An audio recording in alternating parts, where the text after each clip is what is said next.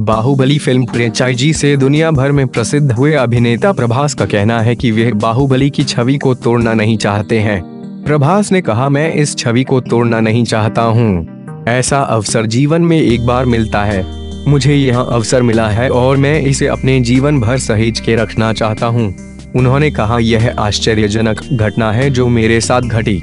कभी कभी मुझे आश्चर्य होता है कि मैं बाहुबली का मुख्य किरदार था। इस फ़िल्म में प्रभास के अलावा राणा दागुबाती, अनुष्का शेट्टी, रामिया कृष्णन, तमन्ना भाटिया और सत्यराज भी थे।